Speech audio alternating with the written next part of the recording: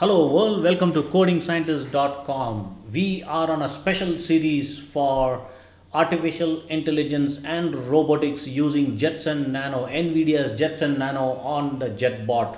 Alright, so let's take a look at it where we are. We are actually in lesson number 26 where we are going to move the bot right now guys. So we are going to, I'm going to talk about, I'm going to show you a live demo about the basic motion code which is there on on the Jupyter uh, notebook which is installed already as a part of JetBot uh, operating system.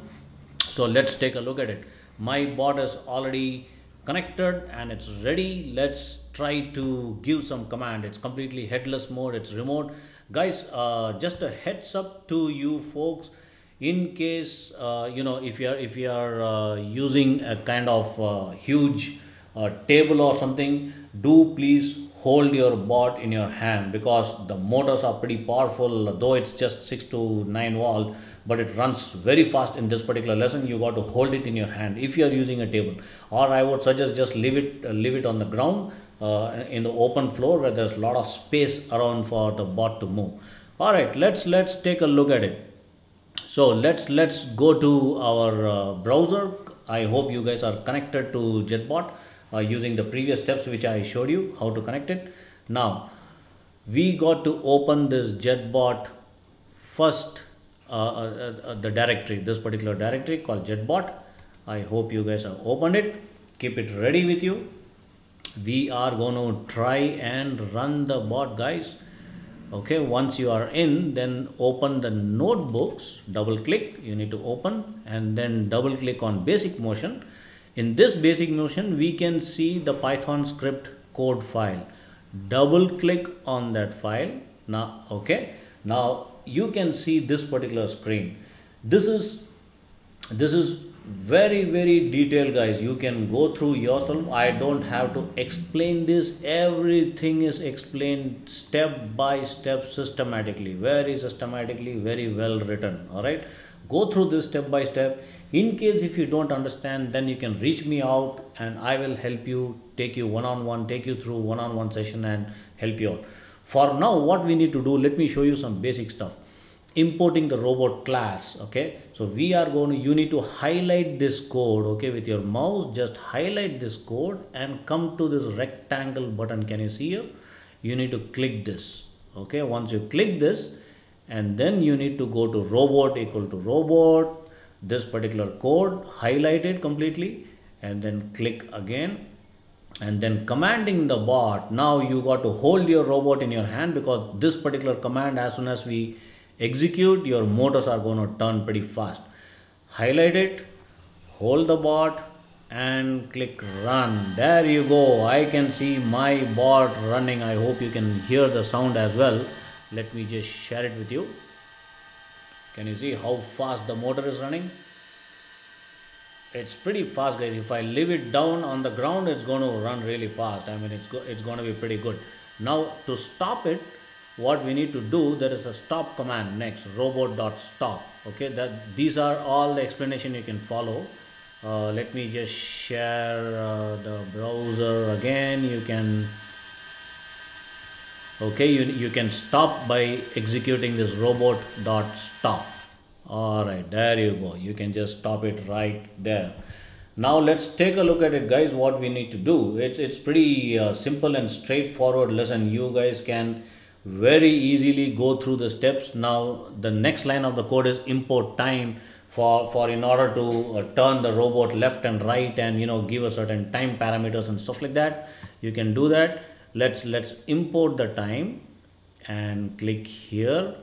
And then the next three lines of code robot dot left 0.3 milliseconds time dot sleep 0.5 robot dot stop it's going to just quickly run and stop actually.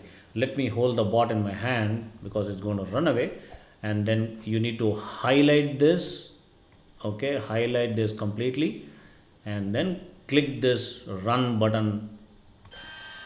There you go all right now go to the next section controlling motors individually. There is a clear explanation how to uh, how this code works. Robot dot set underscore motors highlight it. And then if you click the motor is going to run very fast very fast and stop for within a second it's going to stop. Okay similar way go to the next section of code. This is the code the robot dot left underscore motor and the right underscore uh, left underscore motor and right underscore motor. Highlight this completely. This is going to turn left and right totally. I'm going to run this. Click this button. It's going to run. And left and right and it's it stops immediately because there is a time dot sleep 1.0 right? I'm going to explain this code later on but you can easily follow this code with these kind of explanation. It's pretty easy. Now link motors to traitlets all right so this is a really cool feature and we can actually uh, create a kind of app here. It, it's kind of it's almost similar to a mobile app but you are creating on the on the web browser. Uh, so let me show you how this works. So highlight this code and then run this code. You can see a left and right button here right? So it's just a kind of bar but this is not going to work right now. You need to move on to the next set of code where we will be importing the traitlets which is going to connect to that particular right and left bars okay? Now let's run this code. Now let's go to the next line of the code robot dot forward and this is where your robot is going to run. Let me hold the bot again. There you go the bot is running and then left underscore link and right underscore link. This is going to link to your attached bars the bar which you saw like a mobile app. And then you need to again follow the next line next two lines of the code where let me run this. Now we are going to attach all this function to create an event. That is it's going to create a couple of buttons for left right forward and backward and kind of thing. Highlight everything and then run this code. There you go. Can you see at the bottom? Immediately the buttons pops up. But if you click this nothing is going to happen right? So we got to define what is left. We got to define what is backward stop right and forward. Every definition should go in so this is the defined code. If you move down we are going to define for each button what that python code is supposed to do. So highlight all this click run. Now we have defined the functions. Now we need to attach all this defined function to respective buttons. How we are going to do that? We are going to just highlight all this all these lines of code run it again. And then now we need to we can just try to run this forward there you go. Let me left there you go. The bot runs right. Perfect. Now backward all right perfect. And this is the stop kill button. So for the kill button basically we need to run the heartbeat kill switch.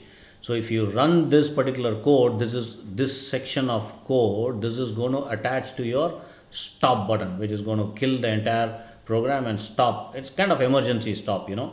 So that's it guys. That's uh, you know uh, this is the basic uh, motion of uh, uh, of the jetbot and this is a pretty basic lesson. You can go through this code line by line. A very detailed explanation explanation is provided.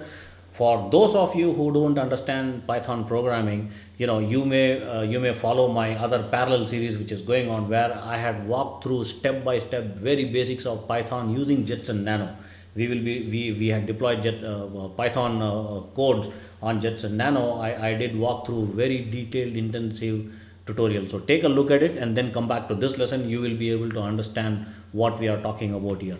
All right guys. So I am going to be back soon. In the next lesson. We are going to talk about more advanced features of JetBot and keep the bot moving. We are going to build pretty advanced stuff like you know autonomous motion and we are going to build a kind of self-driving car kind of thing where this bot, the JetBot is going to basically you know avoid objects and obstacles on the road and it's going to detect the lane through this camera and is going to follow the lanes as well. So all those things is possible guys. I am going to walk you through one by one. All right guys. Until then goodbye. Have fun with jetbot